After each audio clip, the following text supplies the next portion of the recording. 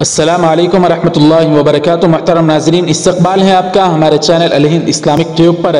नाजरीन इकराम मुल्क भारत की रियासत महाराष्ट्र के शहर मालेगांव से एक बहुत ही प्यारी खबर खुलकर सामने आ रही है, जिससे पूरी दुनिया के मुसलमान, बिलखसूस भारत के मुसलमान और आइम्मा इकराम जो मस्जिदों में इमामत करते हैं, उनके लिए ये खबर बहुत ही प्यारी नज़र आ रही है। जी हाँ दोस्तों, इस तरह की खबर आई कि मालेगांव शहर में एक मस्जिद इस्लाम पूरा के इमाम साहब और ख़तीब हज़रत मौलाना सईद अहमद साहब को मनसब इमामत के 50 साल मुकम्मल होने पर एतराफ़ खदमात के तौर पर एक प्रोग्राम पेश किया गया था, जिसमें हज़रत इमाम साहब को तहफ़े तोहाइफ की बे बारिश कर दी गई, जिसमें बताया जा रहा है कि उनको नकद रकम तोहफ़ों के अलावा तीन लाख पैंतीस हज़ार रुपये बतौर हदिया पेश किया गया, जिसमें आप देख सकते हैं शहर मालेगांव के जो एम एल ए हैं, हज़रत मौलाना मुफ्ती इस्माइल कासमी साहब मालेगांव दामद बरकत हूँ। रुकन शुरा दारुलूम देवबंद को आप हजरात इन तस्वीर में देख सकते हैं। इस तरह की बहुत ही प्यारी खबर जो खुलकर आई है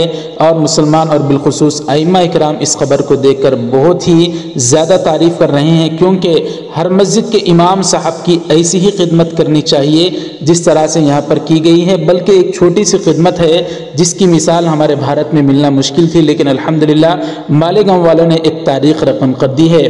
तो दोस्तों, आपसे भी गुजारिश है कि आप हजरात जहाँ भी रहते हैं इकराम आइम्मा इकराम, हफ़ाज इज़ाम मुआजिन इकराम का आप हजरात खूब ख्याल रखें, क्योंकि ये लोग खुदा में दीन है। इनकी वजह से हमारी नमाज़ मुकम्मल होती है। अगर ये लोग ना रहें तो हमको नमाज़ पढ़ाने वाला भी कोई ना होगा। इसलिए हमको चाहिए कि अम्मा हजरात का ख़ास तौर पर ख्याल रखें। बिलखसूस भारत के इस लॉकडाउन के ज़माने में हमें चाहिए कि ज़्यादा से ज़्यादा अम्मा की हम मदद करें। अल्लाह ताली इनकी मदद करने की वजह से हमारे माल में बरकत नसीब फरमाएँगे। दोस्तों, आप हजरात को ये प्यारी खबर कैसी लगी, ज़रूर हमें कमेंट करके बताएँ।